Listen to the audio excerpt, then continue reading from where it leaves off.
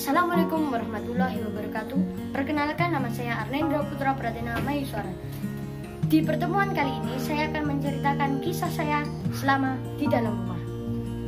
Jadi, yang saya lakukan adalah beraktivitas saya adalah di dalam rumah, yaitu satu, berkaraoke bersama keluarga, dua, membantu orang tua, dan berolahraga. Supaya tidak bosan juga, saya bermain bersama keluarga seperti bermain monopoli dan yang ya.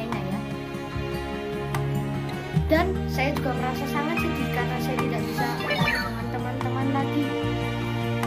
Dan saya harus selalu berada di rumah. Tapi di rumah saya juga senang karena bisa bertemu dengan orang tua, papa, mama, adik, dan yang lainnya. Saya berdoa semoga virus corona cepat menghilang dari dunia ini dan kita bisa